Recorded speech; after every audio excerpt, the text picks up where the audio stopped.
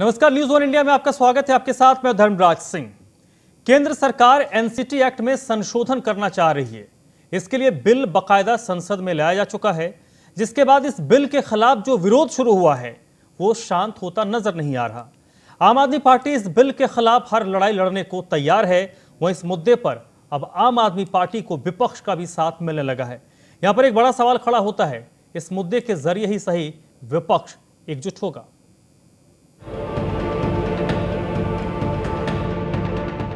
NCT act के खिलाफ आम आदमी पार्टी आर पार की लड़ाई लड़ने के मूड में है। इस बिल के खिलाफ आम आदमी पार्टी ने मोर्चा खोला हुआ है। बुधवार को आम आदमी पार्टी ने जंतर मंतर पर एक बड़ा विरोध प्रदर्शन किया, जिसमें मुख्यमंत्री अरविंद केजरीवाल समेत दिल्ली सरकार के सभी मंत्री, विधायक और नेता शामिल हुए। इस दौरान आम आदमी पार्टी ने दिल्ली की चुनी हुई सरकार के खिलाफ साजिश का आरोप लगाते हुए केंद्र सरकार पर जोरदार हमला बोला। आप नेताओं ने आरोप लगाया कि केंद्र सरकार बैकडोर से दिल्ली में शासन करना चाह रही है। दिल्ली की सरकार को बनाने का जो कानून है, जिसे जीएनसीटी एक्ट कहते हैं, उसमें बदलाव करके केंद्र सरकार अब एलजी को इतनी पावर देने जा रही है कि वो दिल्ली की चुनी हुई सरकार के काम रोक सके। दिल्ली की चुनी हुई सरकार के पास अब निर्णय लेने की शक्ति नहीं होगी, वो एलजी के पास होगी। एलजी का मतलब है केंद्र सरकार के पास होगी, केंद्र की बीजेपी सरकार के पास नहीं होगी। ये लोकतंत्र की आत्मा के खिलाफ तो है ही है, ये संविधान के भी खिलाफ है। जब हम सुप्रीम कोर्ट में गए तो सुप्रीम कोर्ट की कॉन्स्टिट्यूशन बेंच ने कहा, दिल्ली की चुनी हुई सरकार और दिल्ली की चुनी हुई विधानसभा। इसके पास में तीन सब्जेक्ट को छोड़ के police, land and public order.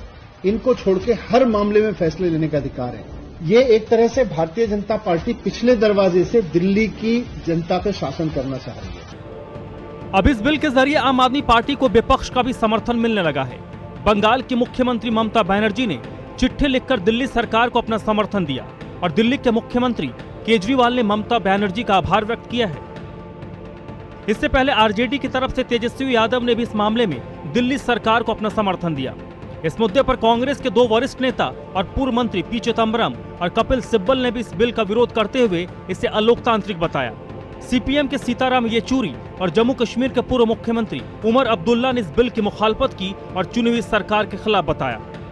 आपको याद होगा, इससे पहले फरवरी 2019 में आम आदमी पार्टी और अरविंद केजरीवाल ने पुडुचेरी में कांग्रेस की सरकार को अपना समर्थन दिया था।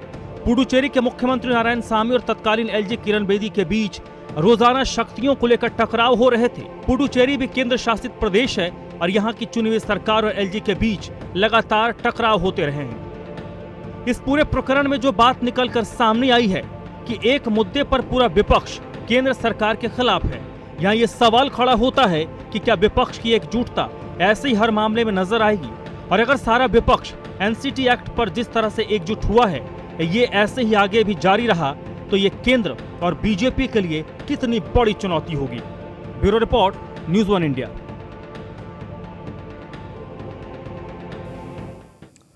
तो केंद्र सरकार और बीजेपी के लिए ये एक सबसे बड़ी और राहत की बात है कि केंद्रीय स्तर पर उनके सामने विपक्ष पूरी तरीके से बिखरा हुआ है।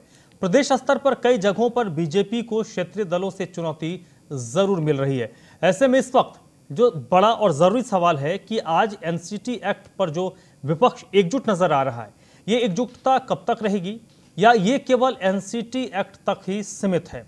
आज हम इसी मुद्दे पर चर्चा करेंगे और इस चर्चा में मेरे साथ जुड़ेंगे शुभेंदु शेखर अवस्थी, प्रवक्ता हैं दिल्ली भाजपा के नितिन त्यागी जुड़ेंगे, आम आदमी पार्टी के नेता हैं और अनुज अत्रे जो कांग्रेस पार्टी के नेता हैं। संभवतः अभी जो कनेक्ट हुए हैं भारतीय जनता पार्टी के जो दिल्ली के प्रवक्ता हैं शुभेंदु शेखर अवस्थी उनसे ही मेरा पहला सवाल है, उसके बाद मैं कांग्रेस और आपके जो नेता हैं उनके पास जाऊँगा। शुभेंदु जी, पूरा विपक्ष एकजुट होता दिख रहा है। तेजस्वी यादव ने समर्थन दिया, ममता बनर्जी भी सपोर्ट में आ गई है, कांग्रेस के कई बड़े टॉप लीडर्स हैं, उन्होंने समर्थन कर दिया है कि भाई दिल्ली के साथ गलत हो रहा है। अगर ये एकजुटता कायम होती है तो आने वाले वक्त में भारतीय जनता पार्टी कितनी बड़ी चुनौती से मानती है? देखिए पहले भी ये लोग कई बार कई मुद्दों पर एक साथ खड़े हुए हैं। जगह जगह सब मत खड़ा करके अपने सबको इकट्ठा करके और मंचों से फ़ोटो भी खिंचवाई है। पर जब विषय आते हैं तो ये अलग अलग हो जाते हैं। अभी जिस एक्ट के ऊपर ममता दीदी ने केजरीवाल जी को सपोर्ट किया है हम्म। वो चूँकि विपक्ष में है पॉइंट उनको विपक्ष में केंद्र सरकार का विरोध करना है ममता दीदी का वहाँ पे चुनाव भी चल रहा है। हम्म, कहीं ना कहीं उनको दिखाना है कि केजरीवाल जी के साथ वो भी जुड़ी हुई हैं। इसलिए उन्होंने ये पत्र लिखा है। हम्म, हम्म, यदि इन्होंने सेक्शन 239 का ए और फोर्थ पॉइंट पढ़ा होता तो ये सब चीज़ें नहीं होती। बिल्कुल जो एक एलजी और एक चीफ मिनिस्टर के बीच में क्या रिलेशनशिप होनी चाहिए हम्म। इसको क्लेरिफाई किया गया है इस नियम के हिसाब से। और कुछ भी असंवैधानिक नहीं है। हम्म, हमने लोकसभा में पेश किया है वहाँ पे इनको विरोध करना चाहिए मिलके। यदि वो पास हो जाता है फिर राज्यसभा में आएगा और राज्यसभा से आके फिर ये एक्ट एप्लीकेबल होगा। हम्म। तो संवैधानिक तरीके से जैसा ये कह रहे हैं कि चुपके से पीछे से आगे से नहीं भारत का जो संविधान है हम्म, उसके माध्यम से हम कर रहे हैं। हम्म, ये सुंगलू रिपोर्ट को नहीं मानते जिसमें इन्होंने कहा गया कि ये सब लोग अपने पावर का मिसयूज कर रहे हैं। हम्म, ये किसी रिपोर्ट को नहीं मानते ये एक सुप्रीम कोर्ट की स्टेटमेंट को दे रहे हैं जो कि उनकी एग्जीक्यूटिव पावर को खाली उसने कहा कि इन इन चीज़ों पे एलजी को नहीं ज़्यादा चीज़ें मांगनी चाहिए। पर आप याद करिए एक मई 2015 को जब ये दोबारा चीफ मिनिस्टर बने थे इन्होंने सभी डिपार्टमेंट को लिख के भेजा कि एलजी को कोई कागज़ मत भेजिए। उन्नीस से जो रूल चला आ रहा है जो परिपाटी चली आ रही है उसका भी इन्होंने विरोध किया। हम्म, अब जब इनकी आदत ही विरोध करने की है कोई फ़ाइल नहीं जाएगी तो एलजी की भी क्या ज़रूरत है? कल को तो ये एक ऐसी चीज़ की मांग करेंगे कि दिल्ली में एलजी की भी ज़रूरत नहीं है। जो चाहे वैसा करें। हम्म, चाहे जितना भी ये गबन करें चाहे भी जिस जिस तरीके से भी दिल्ली को चलाएँ हम्म। इसलिए संविधान की ओर से हम्म। एक तरीके से एक कानून लाया जा रहा है और उसमें एलजी और चीफ मिनिस्टर के बीच में कोई तकरार ना हो। हम्म। कौन से विषय एलजी देखेंगे कौन से विषय हम्म, चीफ मिनिस्टर देखेंगे हम्म। ये चीज़ क्लेरिफाई करी गई है। ठीक है। नितिन त्यागी आम आदमी पार्टी के नेता हमारे साथ जुड़े हुए हैं कांग्रेस पार्टी के भी नेता जुड़े हैं। नितिन जी रिस्पॉन्ड कीजिएगा क्योंकि भारतीय जनता पार्टी की ओर से तो यही कहा जा रहा है कि जो ये एनसीटी एक्ट है इससे कोई बहुत ज़्यादा बदलाव नहीं होगा। और ये पूरी तरीके से संवैधानिक होगा। ऐसे ही बदलाव नहीं होगा जैसा ये किसान के कानून की बात करते हैं झूठ बुलाते हैं। लोकतंत्र से चुनी हुई सरकार है। जनता से कुछ वादे करके आई है। जनता ने चुना है। हम्म, इलेक्टेड है। सिलेक्टेड नहीं। ये सिलेक्टेड को क्यों थोपना चाहते हैं ये नहीं समझ में आ रहा। ये दो बार बुरी तरीके से हार चुके पिछले पाँच चुनाव छह चुनाव लगातार ये अपनी सरकार नहीं बना पाए दिल्ली के अंदर। तो आज बैकडोर एंट्री ये लोग लेना चाहते हैं। मुझे ये नहीं समझ में आता कि जो भी सरकार कहीं पे भी काम करती है उसकी जवाबदेही किसको होती है? हम्म, जवाबदेही हमेशा जनता को होनी चाहिए। किसी बॉस को नहीं होनी चाहिए ऊपर। यहाँ पे अगर एलजी राज करेगा दिल्ली के अंदर तो उसकी जवाबदेही जनता को नहीं होगी वो मोदी जी को होगी। हम्म, भारतीय जनता पार्टी को उनकी जवाबदेही होगी। जब सुप्रीम कोर्ट की कॉन्स्टिट्यूशनल बेंच ने कह दिया कि decisions to run Delhi would be taken by the Delhi government hmm, and they need to inform it to LG. LG को बता दिया जाएगा कि ये डिसीज़न लिए गए हैं। वो क्लैरिटी है। हम लोग उस हिसाब से काम कर रहे हैं इतने दिन से काम कर रहे हैं। भाई पहले मोहल्ला क्लिनिक को एलजी साहब ने रोका आपको याद होगा अरविंद जी सत्येंद्र जी मनीष जी सब धरने पे वहाँ बैठे भूख हड़ताल पे उनके घर बैठे तब जाके कैमरे क्लियर हुए। हम लोग के यहाँ पे कभी सड़कों के नाम पे कभी मोहल्ला क्लिनिक के नाम पे कैमरे के नाम पे हर हर चीज़ के लिए एलजी के सामने गिड़गड़ाना पड़ रहा था। ये हालत थी। आज अगर दिल्ली में इतना अच्छा काम हो रहा है पूरी दुनिया दिल्ली को देख रही है तो इनको ये घबराहट क्यों हो रही? है हम्म, इतनी इतना अच्छा भी बजट आया सारी दुनिया तारीफ़ कर रही है। अचानक से ये इस तरीके का लेके आया कि काम को रोक दिया जाए। अगर इन्होंने काम कर लिया तो गड़बड़ हो जाएगी। बाकी स्टेट्स भी मांगे बाकी स्टेट्स के लोग भी मांगेंगे हम तो दे, दे नहीं पाएँगे। तो ठीक। इस चक्कर में इन्होंने ये कर दिया। ठीक है, शुभेंदु जी, आपके पास आऊँगा सर, एक मिनट। अगर अगर अगर नहीं आप खुद सोचिए। अगर मैं कोई वादा करता हूँ जनता से तो उसकी जवाबदेही मेरी तो होगी जनता की तरफ़। अगर मैं मैं कर ही नहीं सकता ठीक है को बिल्कुल नितिन जी एक तो मिनट। एलजी से पूछने कौन जाएगा? ठीक है ये बात बिल्कुल सही है। कि वोट मांगने के लिए तो अरविंद केजरीवाल, उनके मंत्रिमंडल, उनके विधायक जाएँगे। एलजी साहब नहीं जाते हैं वोट मांगने के लिए। ये बात सही है और जो वोट मांगने के लिए जनता के पास जाता है, जो जनप्रतिनिधि है, उसकी ज़िम्मेदारी जनता के प्रति ज़्यादा होती है। अनुज अत्रे साहब, मुझे याद है जब लास्ट टाइम हम इसी मुद्दे पर बात कर रहे थे दो तीन दिन पहले तो आपने कहा था कि हम आम आदमी पार्टी के साथ एक साथ नहीं बैठेंगे इस मुद्दे को लेकर। आपका विरोध ज़रूर है, लेकिन हम एक साथ नहीं बैठेंगे। मेरा सवाल यही है कपिल सिब्बल पी. चिदम्बरम आपके प्रदेश अध्यक्ष, सबने इस बिल की मुखालफत की, इसका विरोध किया है। ममता बनर्जी ने चिट्ठी लिखी है और ममता बनर्जी ने एक अपील की है कि सभी राज्यों के जो मुख्यमंत्री हैं, गैर बीजेपी शासित, वो इस बिल के खिलाफ बात करें और उसके लिए बाकायदा चिट्ठी लिखेंगी। अगर ममता बनर्जी कोशिश कर रही हैं अरविंद केजरीवाल के साथ मिलकर कि इस मुद्दे पर विपक्ष को एकजुट किया जाए तो क्या उस कुनबे में कांग्रेस पार्टी शामिल होगी? देखिए कांग्रेस पार्टी हर उस मुद्दे में शामिल है जो जनता के अधिकारों का हनन करने का काम भारतीय जनता पार्टी उनकी सरकार हम्म। ये मुद्दा जब पहली बार फरवरी के पहले हफ़्ते में कैबिनेट में पास हो गया हम्म। और 15 मार्च को जब लोकसभा से पारित हो गया था तो कांग्रेस पार्टी पहली पार्टी थी इस देश की और दिल्ली देश की राजधानी की जिसने इस मुद्दे का विरोध किया। हमने बाकायदा हमारे नेताओं ने प्रेस कॉन्फ्रेंस करके जनता के सामने मुखातिब हुए, केंद्र सरकार का विरोध किया कि ये चुनी हुई सरकार जो विधायिका के माध्यम से जो जनता की सेवा करने का जो संविधान ने जो इसको अधिकार दिया है, सर, ये भारतीय जनता पार्टी की सरकार उनके अधिकार अपने हाथों में करना चाहती है, कांग्रेस पार्टी उसके समर्थन कभी नहीं करेगी, उसका पुरजोर विरोध करेगी। क्योंकि कहीं ना कहीं चुनी हुई सरकार की जवाबदेही जनता के प्रति होती है।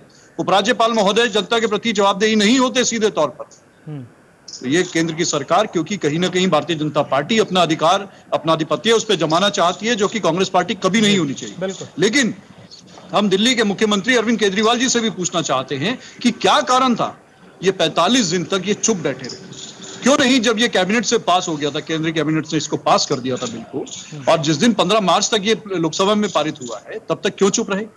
क्यों नहीं? आदरणीय अरविंद केजरीवाल जी, जाकर के प्रधानमंत्री से बात करी, उन्होंने होम मिनिस्टर से जाके बात की है क्यों बिल लेके आ रहे हैं? क्यों हमारे अधिकारों को काटा जा रहा है? लेकिन जब कांग्रेस ने इस बल का विरोध किया, कांग्रेस ने सड़कों पर आने की, जब आंदोलन की चेतावनी दी और आंदोलन किया तो मजबूरी में इनको सड़क पर उतरना पड़ा, वरना तो इन्होंने एक लाइन का ट्वीट करके अपना पल्ला झाड़ लिया था। हम्म। और जो आंदोलन जो धरना भी दिया इन्होंने हमारे धरने के बाद धरना दिया है हम्म। उसमें भी कहीं ना कहीं मुख्यमंत्री जी ने स्वीकार कर लिया है। दबे शब्दों में अपने कार्यकर्ताओं से कह दिया है कि ठीक है चलिए। हम इसी बिल के कानून के तहत काम करेंगे। अनुज जी चलिए इस अब तो क्योंकि बात इससे आगे आ गई मुद्दे को किसने पहले ग्रैब किया किसने इस पर आंदोलन शुरू की ये तो एक पहलू है। क्योंकि अब इस मुद्दे पर सब एकजुट नज़र आ रहे हैं तो बात इसके आगे होगी कि अब आगे क्या? क्या आप उस कुनबे में शामिल होंगे? ये बड़ा सवाल है। कांग्रेस अपने आप में एक बहुत बड़ा कुंबा है। हम अपने आप में सक्षम हैं। और हमारे पीछे जो हमारे साथ जो आना चाहते हैं निश्चित तौर पे उनका स्वागत करेंगे। लेकिन हम लोग ज़मीन से लेकर के और संसद हाँ। तक हम लोग लड़ाई लड़ने में सक्षम है हमारी पार्टी। मतलब और हम लोग लगातार प्रयास करेंगे। इस कानून का जो ये जीएनसीटीडी जो हाँ। 2021 कानून आया हम्म। जब 1991 में पहली बार कानून लेकर के आई थी सरकार हाँ। और 93 में पहली विधानसभा जब दिल्ली को मिली थी हम्म। तो यही भारतीय जनता पार्टी है जिसके पहले मुख्यमंत्री मदन लाल खुराना जी थे हम्म। उन्होंने बोला था कि मतलब दिल्ली को बहुत कमज़ोर विधानसभा आपकी आपत्ति में समझ आपकी आपत्ति मुझे समझ में आ गई आपकी आपत्ति मुझे समझ में आ गई शुभेंदु जी मैं आपके पास आऊँगा सर लेकिन एक क्योंकि रिएक्शन ले लेता हूँ आम आदमी पार्टी के नेता से नितिन जी यहाँ पर जो एक जुटता बनाने की जिस पर हम आज चर्चा करें कि एकजुटता होनी चाहिए विपक्ष की। इस एकजुटता को तो नज़र लग रही है उस बात की कि नेतृत्व कौन करेगा, किसकी अगुवाई में होगा? कांग्रेस कोई मंजूर नहीं है कि उनके आगे कोई दल हो। नेता उन्हीं का हो, आप लोग पीछे रहिए। तो ऐसे, और हमने देखा है कि अतीत में ऐसे ही करते ऐसी स्थिति बनती है और एकजुटता विपक्ष में नज़र नहीं आता या बन नहीं पाती है।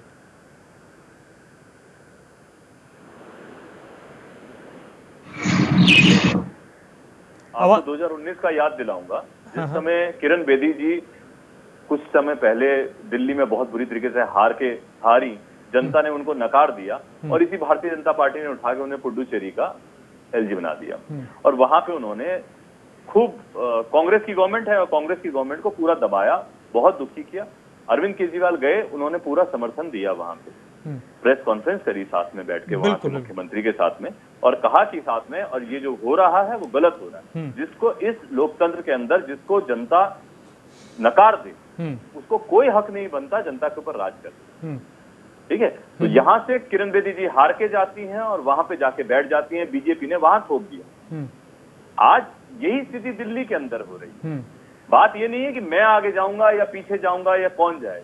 अल्टीमेटली सफ़र कौन करेगा। जनता सफ़र करेगी। हम्म। अगर जिस जिस को जिस दल को जिस हम्म। नेता को जिसको भी जनता की चिंता हो मुझे लगता है उन सबको एक साथ आके खड़ा होना चाहिए। इसमें मेरी पार्टी तेरी पार्टी मेरा नेता तेरा नेता नहीं होना चाहिए। इसके अंदर मेरी जनता होना चाहिए मेरे लोग होना चाहिए मेरा होना चाहिए मेरी नितिन जी सवाल यही उठता है। जब मैंने शुरू में कहा कि केंद्रीय स्तर पर विपक्ष पूरी तरीके से बिखरा हुआ है। वहाँ पर तो बीजेपी और मोदी साहब को कोई चुनौती देता नज़र नहीं आ रहा। राज्यों में ज़रूर कुछ एक, राज्यों में स्थिति ऐसी है कि जहाँ पर भारतीय जनता पार्टी को चुनौती मिल रही है। लेकिन विपक्ष जब केंद्रीय स्तर पर एकजुटता की बात आती है तो अपने छोटे छोटे ईगो के कारण वो एकजुटता टूट जाती है। तो मुझे आप, मैं आपकी बात से बिल्कुल सहमत बिल्कुल सहमत हूँ आपसे, क्योंकि लोग उस टाइम पे जिस ये वजह भूल जाते हैं कि हम राजनीति में क्यों आए थे। ये भूल जाते हैं कि हमने जनता से क्या वादे किए थे। चाहे हम हो आम आदमी पार्टी हो चाहे कांग्रेस हो चाहे कोई और दल हो सब लोग जब चुनाव लड़ते हैं तो जनता से कुछ वादे करते हैं। चाहे उस वादों को मैं पूरा करूँ या ये पूरा करें या कोई और पूरा करे उसमें खुशी होनी चाहिए लेकिन जब भी जनता के खिलाफ कुछ भी होता है उसमें सबको साथ में खड़ा होना चाहिए। अगर उसमें भी ईगो आएगी तो आप सिर्फ़ अपने दल के लिए ज़िंदा हैं। आप जनता के आपका जनता से कुछ लेना देना नहीं है। आप जनता से दूर हो चुके हैं इस बात को आप मान जाइए। ठीक है। शुभेंदु जी आप सर कुछ पॉइंट कर रहे थे लेकिन उसमें एक, एक सवाल मैं ऐड ऑन कर दूँ। यहाँ पर भी स्थिति आप लोगों के लिए अच्छा ही नज़र आ रहा है क्योंकि बात इधर आपके खिलाफ गठबंधन बनाने की कोशिश हो रही है लेकिन यहाँ पर भी वही स्थिति बन रही है जो अतीत में हमने देखा है जो होता आया है। देखिए धर्मराज जी ये जो जनता जनता की बात कर रहे हैं कि ये जनता का क्या होगा जनता की भलाई के लिए हम्म, जो आप पार्टी के बोल रहे थे इसके पहले कांग्रेस के लोग बोल रहे थे। यदि इनको जनता की इतनी भलाई होती और इसकी पड़ी होती तो आज तक प्रधानमंत्री आयुष्मान योजना दिल्ली में नहीं लागू करी। ठीक है? इससे यदि दिल्ली में लागू होती तो गरीब लोगों का उसको फ़ायदा होता। हम्म। ये एक अराचक लोग हैं। किसी भी बात पर धरने में बैठने के लिए इनको बहाना चाहिए। पैतालीस दिन इनको समय दिया गया है उसमें कुछ बोलने के लिए। उन्होंने कुछ जवाब नहीं दिया। एक बार एक सेंटेंस तक नहीं लिखा। हम्म, और उसके बाद जब बिल पास हो गया तो चिल्ला रहे हैं ऐसे जैसे कोई बच्चा किसी का कोई खिलौना छीन लिया जाए बच्चे का उस तरीके से चिल्ला रहे हैं। हम इस पे ज़्यादा नहीं बोलेंगे। मैं खाली एक ही चीज़ कहूँगा छोटी सी बात कहूँगा कि देखिए उन्नीस सौ इक्यानवे से लगातार 2015 तक सभी फाइलें एसजी के पास जाती थी। शीला जी दीक्षित जी की सरकार रही हो केंद्र में अटल जी की सरकार रही हो या दिल्ली में मदन लाल खुराना या साहब सिंह वर्मा की सरकार रही हो और उनके एलजी रहे हो कभी इस तरीके की बात नहीं आई। ये सब प्रॉब्लम अरविंद केजरीवाल जी के कारण है। हम्म, वो एक अराजक हैं वो काम नहीं करते हैं खाली चिल्लाते हैं।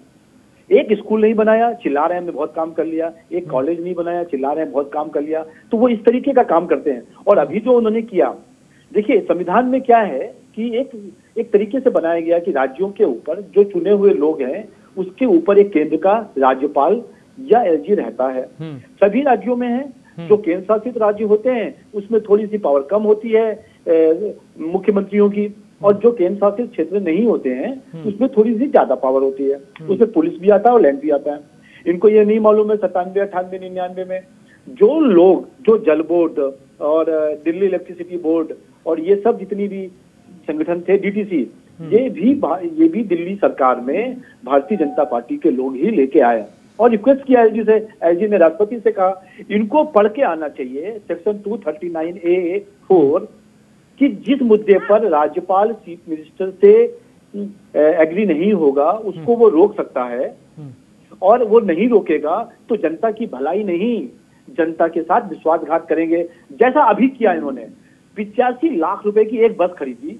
इस तरीके से एक हज़ार बसें खरीदी गई। और आपको मालूम होगा कि जब बसें खरीदी जाती हैं तो तीन साल का मेंटेनेंस फ्री मांगा जाता है। पर ऐसा नहीं किया। पिचासी लाख की बस में पहले साल में एक बस पर पैंतीस लाख रुपए का मेंटेनेंस कास्ट अब ये बिल यदि एलजी नहीं रोकेगा तो कौन रोकेगा? इस तरीके का टेंडर एलजी नहीं रोकेगा तो क्या होगा? ये सब पैसा घोटाला करके मतलब नहीं नहीं सर आपकी बात समझ में नहीं आप आप जो बात कह रहे हैं जो एक मिनट नितिन जी इनकी जो बात मुझे समझ में आई कि आम आदमी पार्टी के सियासत करने का जो तरीका है उस पर ये सवाल खड़ा कर रहे हैं। शुभेंदु जय मैं सही ना बोल रहा हूँ? इनका एक सर, इनका हर चीज़ों में इनका विरोध कर आम आदमी पार्टी बार बार जीत कैसे जाती है? हम्म। ये इतनी नफरत की राजनीति फैलाते हैं लोगों में आग लगाते हैं एक दूसरे के खिलाफ भड़काते हैं फिर भी आम आदमी पार्टी जीत जाती है। आम आदमी पार्टी नहीं है। देखो त्यागी जी देखो ये यहाँ पर ये चैनल पे आप प्रचार करने नहीं आए काम हो पार्टी तो का। आप प्रश्न का जवाब जवाब से दो। जनता हमको वोट देती है। आप इस तरीके का जवाब भाषाबाजी मत करते हैं, करिए चैनल के ऊपर। जो मैंने कहा है उसका जवाब दीजिए। स्कूलों से डरते आप सातों जो सीटों हालत में एक सीट के क्या जीते हैं आम आदमी पार्टी आने से पहले और आज जो है वो सबके सामने है पूरी दुनिया के सामने। आप अरे झूठ दुनिया छोड़ दो, पहले तो दिल्ली को देख लो भाई। हर आदमी जानता है। आपके यही दिक्कत है आपकी। हैं। दिल्ली में स्कूल यही दिक्कत है। दिल्ली को ठीक नहीं कर पा रहे हो यूपी। हरियाणा के अंदर पेंशन बढ़ी और है। पांडुचेरी में आप जा सारे रहे हो। काम हुए आप कामों में कमी मत निकलवाइए। आप अपनी नीयत अनुज जी एक मिनट आ रहा हूँ सर। अनुज जी आ रहा क्यों हूँ आपकी आप नीयत ऐसी है कि आप दिल्ली के ऊपर कब्जा करना चाहते हैं? देखिए चुनाव नितिन त्यागी जी, आप तो विषय पर आइए। आपके प्रवक्ता हैं आप। आप विषय पर जवाब दीजिए कि आपने पिचासी लाख की बस पर पैंतीस लाख रुपए का मेंटेनेंस पहले साल में दिया कि नहीं दिया? हाँ नाम में जवाब दीजिए। 85 लाख पे आप कहिए नहीं दिया मैंने। तो मैं आपको डॉक्यूमेंट दिखाता हूँ आपको। मेरे बाप पर आप बताइए ये बैकडोर एंट्री किस लिए आप ले रहे हैं? कोई नहीं, एंट्री नहीं है। शुभेंदु जी एक नहीं शुभेंदु जी शुभेंदु जी एक मिनट शुभेंदु जी शुभेंदु जी एक मिनट नितिन जी एक मिनट। शुभेंदु जी एक सवाल है। कि आप हमेशा बोलेंगे कि आम आदमी पार्टी खराब कर रही है। आम आदमी पार्टी हमेशा बोलती है कि हम अच्छा कर रहे हैं। अंतिम फैसला ना मैं कर सकता हूँ ना आप प्रवक्ता के तौर पर कर सकते ना आप कर सकते हैं ना नितिन त्यागी कर सकते हैं। ये तो जनता तय करती है उनको वोट है। अगर पहली बार ये जीते फिर दोबारा ये चुनकर सत्ता में आए एमसीडी के अभी उपचुनाव हुए वहाँ पर इनको पाँच में से चार सीटें मिल गई। मतलब कुछ ना कुछ तो जनता को इनमें दिख रहा होगा तभी तो ये जीत रहे हैं सर। देखिए जो जीतने का तरीका है इनका हम्म। जिस तरीके से तमिलनाडु में सरकारें फ्री फ्री देके अब चला नहीं पा रही हैं सर फ्री सब देते हैं सर फ्री सब देते हैं प्लीज़ सब सुनिए मेरी बात ये सब देते हैं। धर्मवीर धर्मराज जी मेरे अपना बात को पूरा कर लूँ मैं हाँ, सर, फिर आप जवाब दीजिएगा। हम्म। जब मेंबर ऑफ़ पार्लियामेंट का चुनाव हुआ हम्म। तो सातों सीटें हम जीत के आए कि नहीं आए? और जब हम सातों सीटें एक भी सीट लिया होते तो मैं ये मानता कि ये आप पार्टी को जनता चाह रही है। जनता चाहती है कि जो केंद्र में अब जो सरकार बनाई जिसी जनता ने बनाई दिल्ली की जनता ने बनाई जब वो सरकार बनाई वहाँ से इस बिल का हम लोगों ने प्रावधान किया। पैंतालीस दिन इनको समय दिया गया कि आप पढ़िए कैबिनेट में। जब कैबिनेट से भी पास हो गया तब यहाँ पे आया है। ये खाली रोने की बात है और ये भी मैं बता वो तो ठीक है सर। मैं आपको बताता हूँ ये भी मैं बता देता हूँ। ये तो ठीक- आपकी बात आ गई सर कि लोग नहीं नहीं सर देखिए मेरे पास आज भी थोड़ी बहुत तो समझदारी हमें भी है। आज भी वीडियो होंगे। लोकसभा चुनाव के अलग मुद्दे होते हैं, वहाँ पर जब कोई वोटर वोट करने जाता है तो उसका अलग इश्यू होता है, विधानसभा का अलग होता है। जो दिल्ली को पूर्ण राज्य बनाने की बात करते हैं? चुनाव से पहले पूर्ण राज्य बनाने की बात करते हो चुनाव हारने के बाद सर दिल्ली को पूर्ण राज्य हुई सरकार कैसे बना दोगे यदि पूर्ण राज्य बन गया ना और केजरीवाल। मुख्यमंत्री रहे तो वो किसी नहीं नहीं दिल्ली ये सर ये बहुत दूर की कौड़ी है कि दिल्ली कभी पूर्ण राज्य बनेगा नहीं बनेगा। ये भारतीय जनता पार्टी की सरकार हो कांग्रेस की सरकार हो कोई ऐसा नहीं करने वाली है। खैर चलिए अनुज अत्रे जी कुछ बोल रहे थे सर आप। अनुज जी कुछ ठीक है सर नितिन जी बहुत देर से चुप है। उनको कोई उनका पक्ष रखने दीजिए बोलिए अनुज जी। देखिए अभी मैं भारतीय जनता पार्टी और आम आदमी पार्टी दोनों के ही प्रवक्ताओं की बात सुन रहा था। हम्म। और दोनों ही कितनी साफ़ साफगोई से झूठ बोल करके आपके चैनल के थ्रू जनता को गुमराह कर रहे थे। ये वही बीजेपी है जिसने तिरानवे से लेकर के और 2020 तक के चुनाव में लगातार जनता से दिल्ली को पूर्ण राज्य दर्जे का वायदा किया है। प्रधानमंत्री नरेंद्र मोदी जी ने भी वायदा किया था कि हम चुनकर के आएँगे तो दिल्ली को पूर्ण राज्य दिलवाएँगे। हम्म। और ये जो दिल्ली सरकार को जो अधिकार मिले हुए थे आपने वो भी छीन लिए। तो आपका क्या पक्ष है? जनता के सामने आप चुनाव के समय एक बात बोलते हैं, चुनाव जीतने के बाद या हारने के बाद आप पलट जाते हैं तो जनता आपका रंग दिख रही है। वहीं आम आदमी पार्टी की भी मैं बात करूँ तो जन लोकपाल जन लोकपाल का नाम देकर के सत्ता में आने वाली एक आंदोलन से निकल के आने वाली पार्टी आज जन लोकपाल को भूल गई। ये पूर्ण राज्य के दर्जे की बात करते हैं तो जन लोकपाल की भी क्यों बात करना आप भूल गए? आप ये बता दीजिए। और यही आम आदमी पार्टी लोकपाल बिल आपके अधिकार- असेंबली से भेज चुके हैं। नितिन वो भी- वो भी भारतीय जनता तो पार्टी वाले लेके बैठे हुए हैं। लेकिन सात सालों से जो 2000 आपको अधिकार मिले 2015 में पास करके अधिकारों के तहत सुन लीजिए बीच में ना बोलिए मैं आपके बीच में नहीं बोला था।